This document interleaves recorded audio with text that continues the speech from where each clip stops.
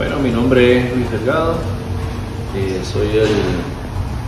propietario del emprendimiento de la calle del Sabor, el cual nace un 23 de junio del año 2019 acá en Ipiales, Nariño, Colombia. Este emprendimiento pues nace a raíz de los conocimientos primeramente adquiridos en mi juventud o en mi niñez, en el país donde, de donde vengo, que es Venezuela y al llegar aquí a enfrentarme pues a unos horarios de trabajo bastante extendidos y a jornadas de trabajo que fueron bastante duras, pues me animaron realmente a poder hacer algo por mí y mi familia, en donde vi que había una, una gran oportunidad, ya que acá en el municipio de Ipiales la parte gastronómica se se maneja mucho, pues tiene un amplio, un amplio eh, fuente de trabajo, por así decirlo. Hay muchas ofertas, muchas,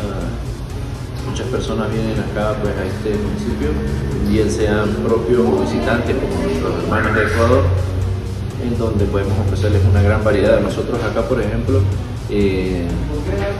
ofrecemos desde hamburguesas, perros calientes, chaguarmas en la parte de las comidas rápidas, como también son este, los desayunos, almuerzos,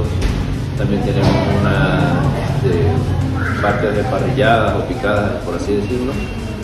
en donde ofrecemos una gran variedad de, menú y, de platos, en donde hemos tratado de incorporar o de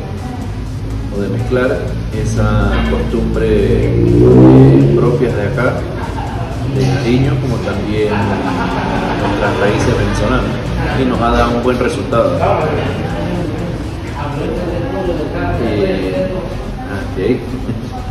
em, ¿Cómo los encuentran? Eh, nos pueden encontrar en Ipiales, en la carrera séptima, entre la calle 2 y 13 como la calle del sabor, también en nuestras redes sociales, en Facebook como la calle del sabor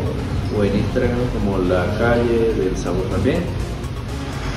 O por nuestros números de teléfono, que es el 315-636-3537. ¿Promociona algo? Eh, el día de la feria estaremos promocionando este, nuestro plato fuerte o ese plato novedoso que fue lo que nos ayudó a expandirnos acá en el municipio, que en este caso es el chaguarma, una comida de Medio Oriente árabe, una comida árabe que nosotros la adoptamos, la transformamos y pegó, pegó mucho, está muy, la gente pues se ve muy representada con ella. Ese será nuestro plato fuerte para ese día.